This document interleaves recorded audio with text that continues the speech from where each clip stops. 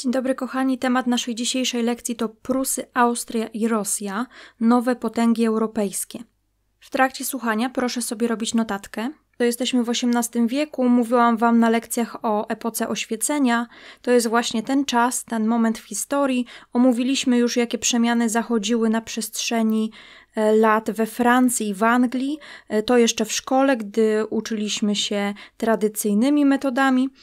I do grona tych europejskich mocarstw dołączają Prusy, Austria i Rosja. Mówiliśmy sobie o absolutyzmie, czyli takiej formie rządów, w której władca ma nieograniczoną, pochodzącą od Boga władzę.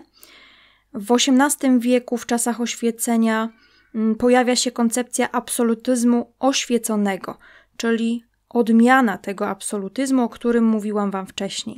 I ten absolutyzm oświecony polega na tym, że poddanym przyznaje się pewne swobody, zachowując pełnię władzy przy tym.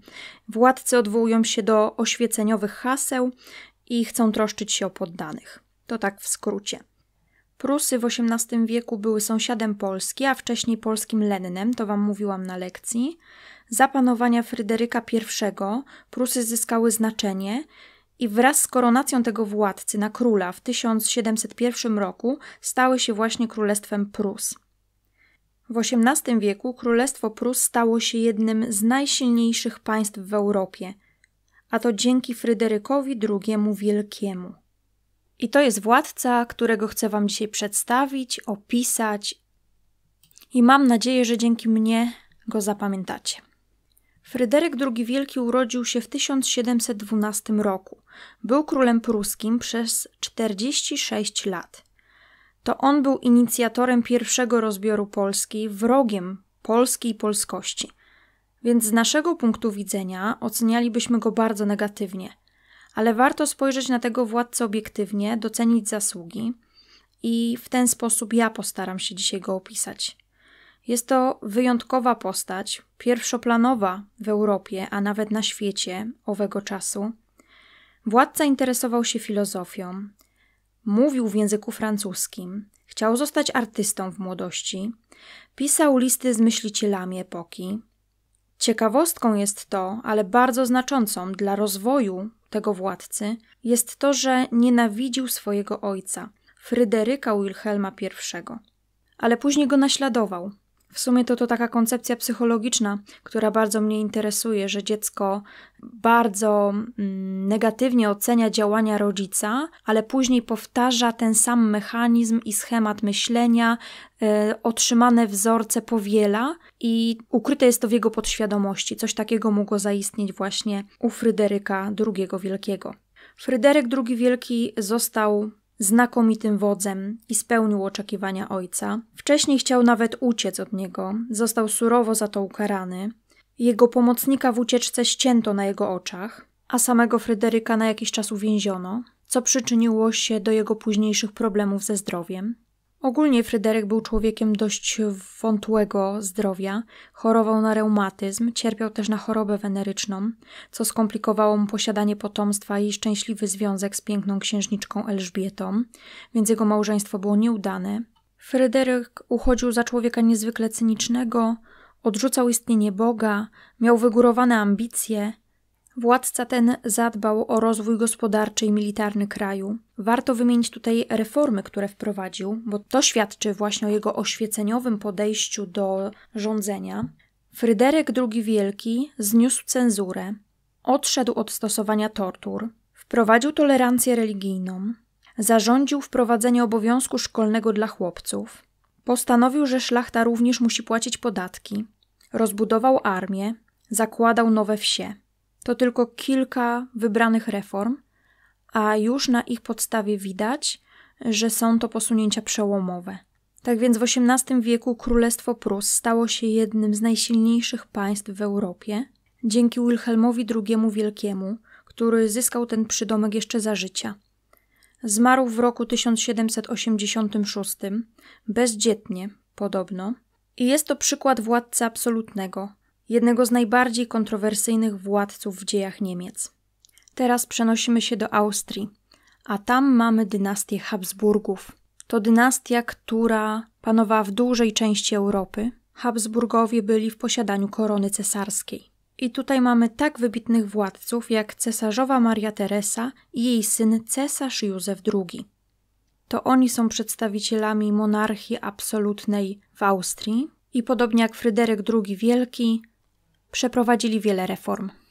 Ale zanim przejdziemy do reform, kim oni byli, bo warto wiedzieć, z jakimi osobami mamy do czynienia. Maria Teresa Habsburg urodziła się w 1717 roku, wychowała w Wiedniu. Wraz ze swoim mężem, Franciszkiem I Stefanem, miała 16 dzieci. Powinniście kojarzyć jej córkę, Marię Antoninę, wydaną za Ludwika XVI.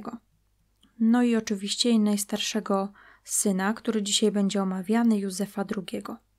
Maria Teresa i Franciszek byli zgodnym, kochającym się małżeństwem.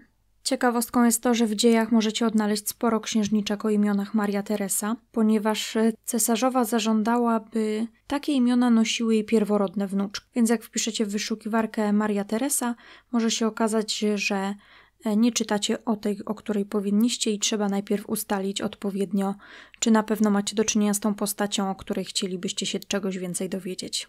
Sprawdźcie. Warto wiedzieć, że cesarzowa stoczyła ostrą walkę o swoje panowanie, o tron, o koronę.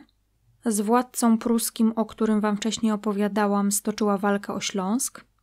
Maria Teresa Habsburg zmarła w 1780 roku w wyniku ataku duszności w obecności swojego syna Józefa II i należy ją zapamiętać jako wybitną i silną władczynię. I teraz czas na syna Marii Teresy, Józefa II, Urodził się on w 1741 roku, 15 lat współrządził z matką, bardzo opowiadał się za tolerancją religijną, podczas gdy cesarzowa była gorliwą katoliczką, więc tutaj się troszeczkę nie dogadywali. W 1781 roku wydał tak zwany patent tolerancyjny. Ograniczył wpływy kościoła katolickiego, gardził duchownymi, likwidował klasztory. Ograniczył też poddaństwo chłopów, zależało mu na poprawie bytu ludzi wsi. Chciał stworzyć nowoczesny organizm państwowy, dążył do tego, by państwo było jednolite i centralnie zarządzane. W latach 40. XVIII wieku w Wiedniu założony został pierwszy komisariat policji. Cesarz Józef II chciał zadbać o ład i porządek w ten sposób i tutaj rozwijał te struktury policyjne. Ograniczył też stosowanie kary śmierci. Za panowania tych władców e, nałożono podatki na szlachtę i duchowieństwo, które sprawiły, że dochody skarbu wzrosły. Zreformowano też armię na wzór pruski. Józef II zmarł w 1790 roku. Bardzo przysłużył się Austrii. Zarówno on, jak i jego matka to przedstawiciele absolutyzmu oświeconego. I teraz przyszedł czas na Imperium Rosyjskie. I tam mamy młodego, zdolnego władcę Piotra I, później nazwanego Wielkim. On przejmuje rządy w 1689 roku i jego celem było unowocześnienie państwa. Za jego panowania Rosja zostanie uznana za potęgę europejską. I tutaj teraz wasza rola. Będziecie mieli tydzień, aby napisać referat na temat Piotra I Wielkiego. Praca powinna zająć mniej więcej jedną stronę A4, najlepiej, żeby była napisana na komputerze w Wordzie i przesłana mi. Przy pisaniu pracy należy skorzystać z trzech różnych źródeł. Mogą to być książki, czasopisma, filmy dokumentalne, strony internetowe, ale dobrej jakości. Nie ściąga.pl, nie bryk, takich nie przyjmujemy. Na podstawie tychże źródeł piszemy swoją własną pracę swoimi słowami, ponieważ Przepisywanie słowo w słowo to nic innego jak plagiat. Na końcu pracy musi się pojawić spis tych źródeł. Oczywiście ja służę pomocą, mogę podsyłać linki, artykuły, znaleźć razem z Wami te źródła. Kto się do mnie zgłosi, może na mnie liczyć. Jest to praca obowiązkowa i stanowi uzupełnienie tego tematu, który dzisiaj dla Was specjalnie omówiłam. Do tego tematu załączona też jest karta pracy. Uprzejmie proszę ją teraz wykonać, macie na to 20 minut. Jeżeli ktoś prześle mi kartę pracy, to dostanie plusa z aktywności. Bardzo dziękuję za uwagę. Do zobaczenia na następnej lekcji.